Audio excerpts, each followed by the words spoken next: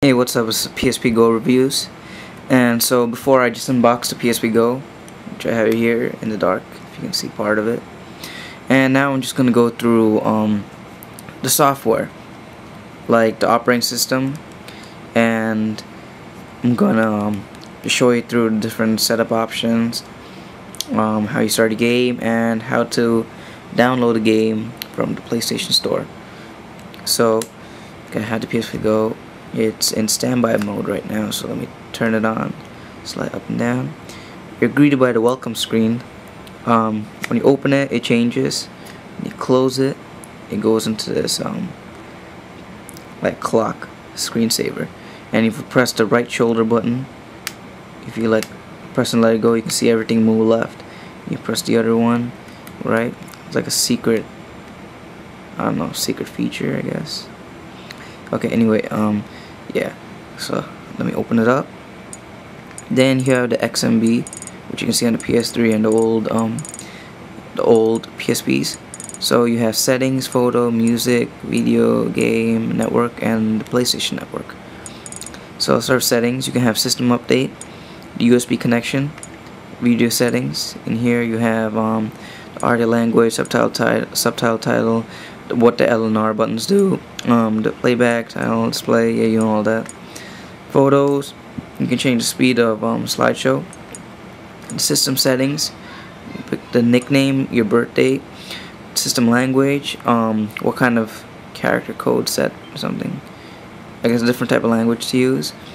Um, what happens when the panel closes, you can enter standard, which is the clock, or sleep mode, which is like, you know, standby mode um, the color space you can change like different type of colors. You can't really see the difference but when you say wide looks much better. If um, when it's plugged into USB if you want to automatically charge it if you want USB to automatically connect format memory stick format storage enable uh, WMA playback restore default settings system information and about the PSP which is like a little demo like credits about the PSP then themes you can pick different themes. You can download themes from the PlayStation Store. Color I guess the back um, and the background picture.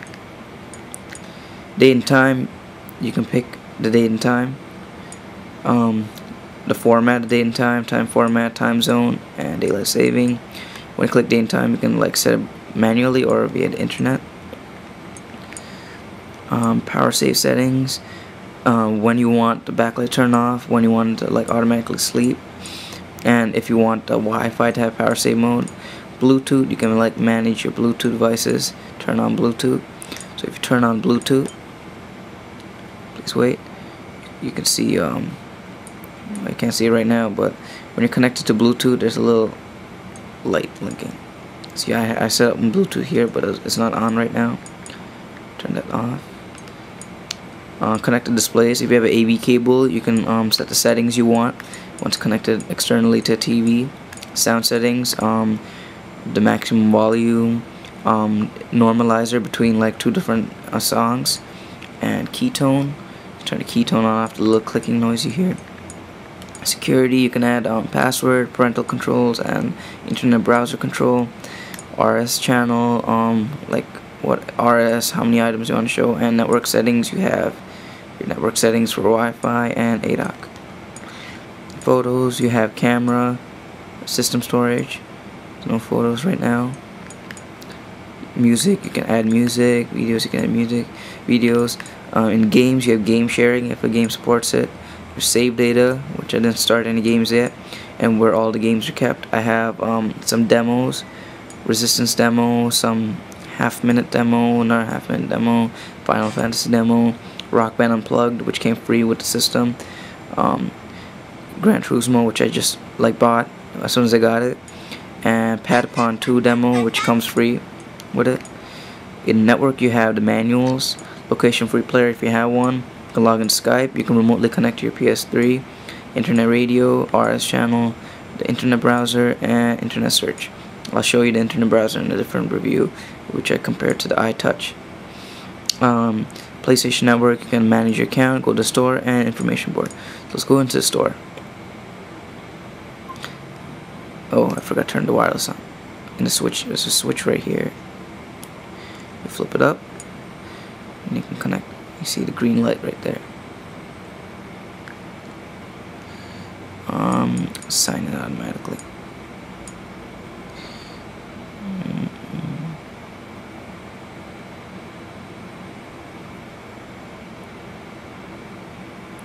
So you greeted with the PlayStation Store. If you have a PS3 or old PSP, you know what, what it looks like.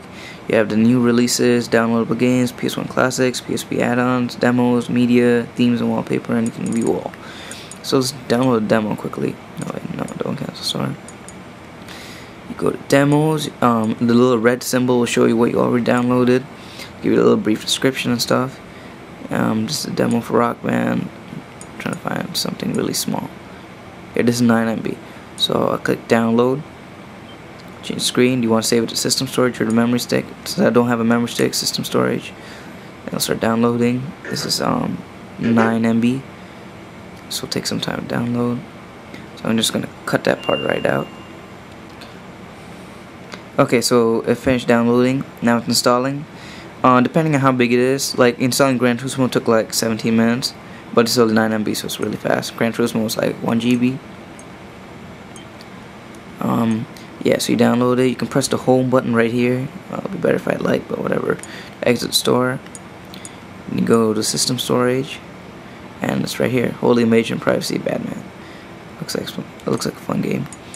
And yeah that's basically it for the um, for the software overview. And stay tuned for um, like playing a game. I'm gonna have Gran Turismo um, review Rock Band review. Um, then I'm gonna have the browser review and remote play. I'm gonna have that, like showing you how to set it up. And yeah, that's all I can think about right now. If you have any um, ideas, suggestions, place in the comment. Remember, subscribe, rate, and I'll see you next video.